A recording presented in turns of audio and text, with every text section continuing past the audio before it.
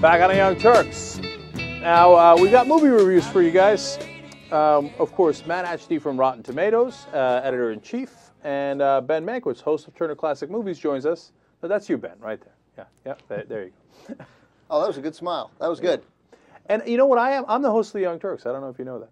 So um, we're going to review um, Bad Lieutenant for you guys. That's the Nick Cage, Eva Mendes uh, movie that was. Now, sorry to interrupt. To be clear, we're reviewing Bad Lieutenant, Port of Call, New Orleans. We're not reviewing the mid '90s Abel Ferrara, Harvey Keitel, Bad 90 Lieutenant. I think 92. 92. 92 for, for the original Bad Lieutenant, which Werner Herzog, the director of, uh, of Bad Lieutenant Port of Call, uh, New Orleans, says is in no way a remake. Right. Even- except ex- even, except, it totally is. except it is.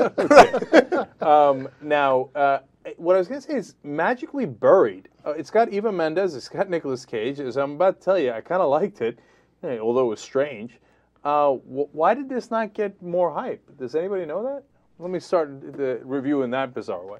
I think that, uh, and Matt, you'll probably be better able to answer this than I, so I'll give me give a, a quick answer. Basically, you know, many movies. First of all, it's strange.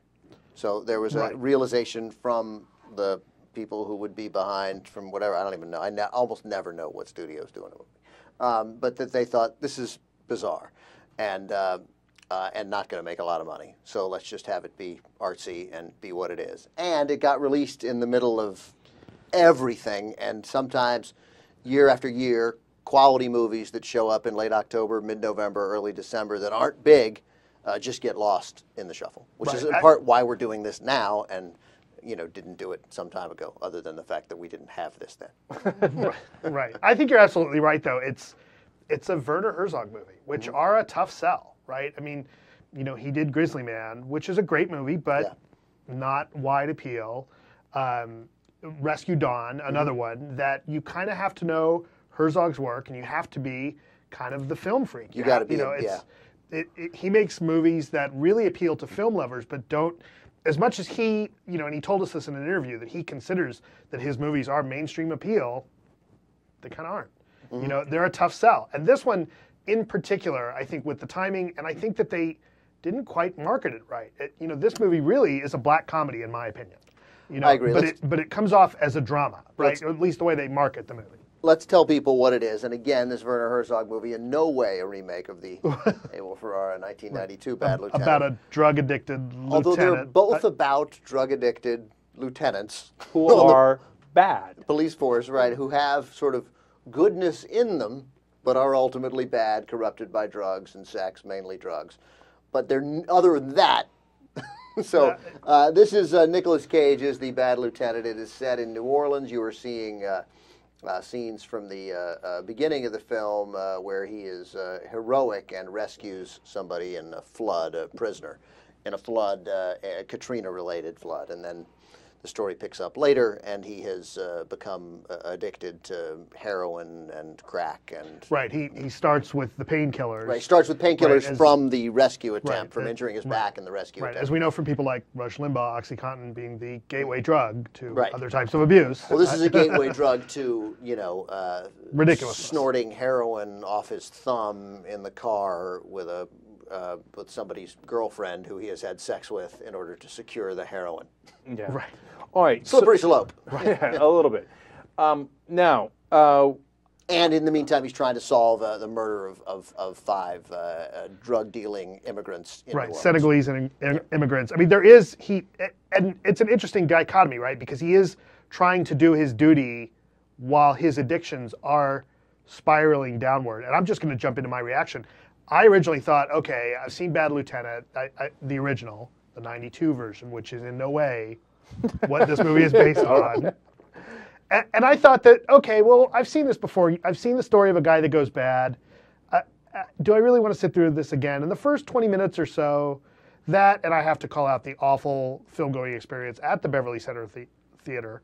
Um, You know, I, I wasn't feeling it. And then, probably about 20, 30 minutes into the movie, it caught me. You know, and, and Where were you sitting? I was in the second row. Yeah, you were laughing then in the back half. Yeah. You were, yeah, because there I was like, there's a guy laughing heartily up there. Well, that guy in the front row was laughing Oh, very maybe that hard. was yeah. it. okay. Uh, yeah, look, I liked it. Uh, I mean, uh, I was surprised by it. I wasn't sure what I was going to get. I'm, you know, I, I'm iffy on Nick Cage because sometimes he does great stuff, and sometimes it's just such utter crap that you're like, why is I don't I think- hate this guy. I can't stand him. I think it's not. I don't think, but I think that's the. I think you've used the exact wrong word for Nick Cage. I don't think you can be iffy on Nick Cage. Nick Cage is either this guy can act. What a oh. terrific actor! Or you're like, what is this guy? Was that the? That couldn't possibly be the guy in Raising Arizona. Right. Couldn't possibly be the guy in Matchstick Men because you know. Uh, I think when he's challenged to do something, he rises to the occasion. Definitely. But left to his own devices, he just, you know, he's a he's he's a bad example of somebody phoning it in. When Nick Cage phones it in, it's ugly, right? It, Yeah. It's not like some actors can phone it in, and it's okay. Sure. Not with Nick Cage, but Yeah. this one, boy, he's on fire in this movie. I think he's great. I, Uh, I, I, not only was he great, I thought he should have got he, he should get an Academy Award nomination. I mean, I'm going crazy. I thought he was fantastic. Okay. He's a he's a great actor. First of all, he can play uh, addicted. Apparently. Yeah. yeah, that's what he exactly. said. That's his Exactly. Uh, and then I'm like, wait, is that Val Kilmer? What's Yeah. Val Kilmer doing in the most random, useless role of his career? Well, Uh, you know, you, answer, you can answer that question pretty obviously. Also. hey, this one isn't direct to DVD. Yeah. Uh, yeah, I know, but I just I felt sick to my stomach watching Val Kilmer, who's a great actor, but obviously an ass. Well, this is uh, he, you know? he, has been a difficult guy to work with. Reportedly, I don't I don't know Val Kilmer.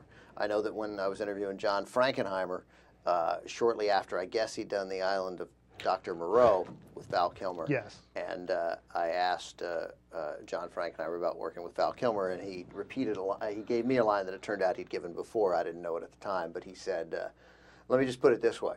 He said, "I wouldn't cast Val Kilmer in the Val Kilmer story." So, but he did get cast in this. He didn't do anything in it, so it doesn't. I know really you matter. kept expecting that to be a. I'm like, it's somebody role. do something, right? Right. Although you know, you got to look at Herzog's career, and based on his Mm-hmm. work with Klaus Kinski, there's a guy who can work with troublesome actors, right? I mean, No, and that's why you know that Kilmer's good because because Herzog cast him in it. I mean, in Right. the sense that like like this is not a nothing part because Right. it's a Werner Herzog movie. That's why. Right. That, that, you know, so you don't you don't need to feel bad for Val Kilmer for Okay. being in. All right. And then the main drug dealer was great too, and I'm like, I feel like I know that guy from somewhere. Yeah. And then of course it's Xzibit. it's Xzibit. He Eva was Mendes great. was good. I'll tell you who I thought was really fantastic in a very minor but important role was he Jennifer. Coolidge. Yes, and, You a, know, and, I- a, and, a, and a and a real acting role. I mean, clearly not playing. Not- you imagine right, not playing you imagine Stifler's is- mom. is, Jennifer Coolidge. Right. Yeah, or, or you know, or, or in uh, you know, in, in, in Waiting for Guffman, or, or Right. uh, you know, or last or Best in Show. All right. So to, f- final analysis for me is, I mean, don't get me wrong, this movie was trippy. Okay. I mean, it was strange, and there were parts where you're like, what is going on? I'm like, is that real? Is that not real? What you know? But I, it was interesting. There's no question about it. It was engaging. And here's the really funny part. At the end, I want to do bad things. Okay. I mean, he got me worked up where I was like, man, I'm living, my life is too calm. I'm, I'm not living enough. I gotta squeeze a couple of people coming out of a club and you know and grab something out of them. That girlfriend scene in the beginning, I know it was in the original Bad Lieutenant too. It was a similar scene, right? Uh, but it was hot. Just a coincidence. yeah, total coincidence. I know, but I mean that was hot stuff, and I liked it. And I was like, I gotta be more bad. Well, and you know, it's it really is a fantastic example of what a black comedy can be. It's it's you know, it really celebrates th- the evil. It takes this celebratory, gleeful tone to these awful things that Nicolas Cage is doing, and you're laughing at them. You know, it, it, they become funny, and and it's in any other movie, in or in a lot of other movies, you would look at this and just be horrified. You know, but in this one, you're laughing. They're funny, and it and it works. And it's not just It's not, ju- but it's not. You know, I mean, I hear you on black comedy, but it's not. It's not really a comedy. it's no, it's it's a black dramedy. I mean, Right, you know. yes, okay. I mean, uh, and I'm kidding because no one should ever say that. But uh, I mean, but there is a significant amount of drama in it. It is not. They're not just looking for those Right, winking right. laughs.